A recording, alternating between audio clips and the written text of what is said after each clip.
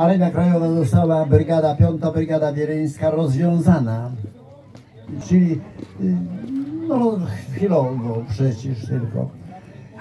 I ja w tym czasie znalazłem się, bo na pododdziały zostało to podzielone, w trzeciej brygadzie wileńskiej NZW, Narodowe Zjednoczenie Wojskowe, którym dowódcą pozostał kapitan Bury. I pod jego rozkazami byłem do końca, pod jego komendą, prawda. Jako dowódcę wspominam dobrego stratega, orientującego się zawsze w terenie, umiał wyprowadzić wojsko we właściwy sposób z, z różnych opresji, także tylko dobre wspomnienia. Ale druga sprawa, takie mi się utknęło w pamięci takie momenty. W jednej z miejscowości, pamiętam mój dowódca, pan Bury, siedzi na koniu, trzyma szpicrutę i tak lekko się uderza po budzie, mówi, gdzie mój synek, kiedy on wyrośnie? A koło tego kręcił się taki 80 lat chłopczyk i mówi, kto jego wychowa, kto jego mówi. Jego, ale ja sobie nie wyobrażałem, że gdzieś tam była jako żołnierz 21 lat z boku, prawda, że wspominał, że kiedy mówi, ale ja to czekam tej, tej chwili, mówi, ale jak, gdzie on się obraca. I o dziwo, los chciał, że pan syn umiał jakimiś kanałami nawiązać kontakt i dla mnie jest wielkim zaszczytem, nieopowiedzianym, że dzisiaj tu spotykamy się tak na luzie, porozmawiać.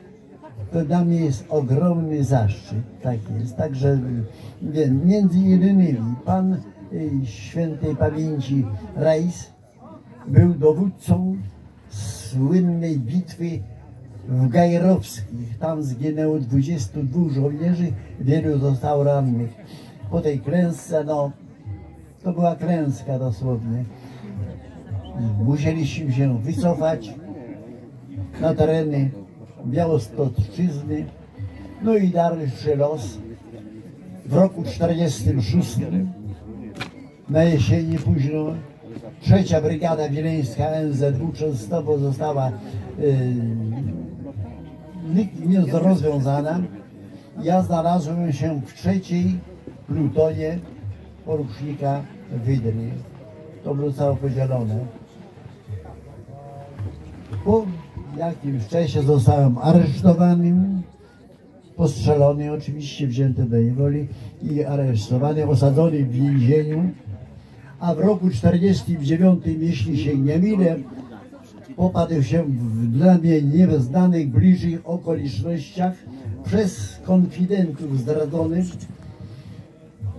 dowódca mój, ja o swoim i został osądzony w Białymstoku w Kineton na karę śmierci i śmierć tam właśnie została ten wyrok wykonany.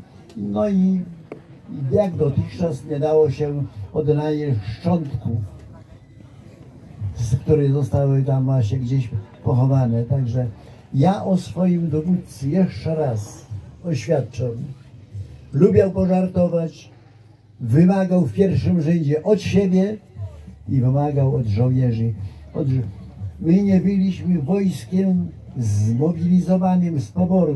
My byliśmy ochotnicy i każdy jeden ochotnik to podporządkowuje się ściśle swoim rozkazom swoich przełożonych, że tylko i wyłącznie dobre wspomnienia pozostały po dzień dzisiejszy wśród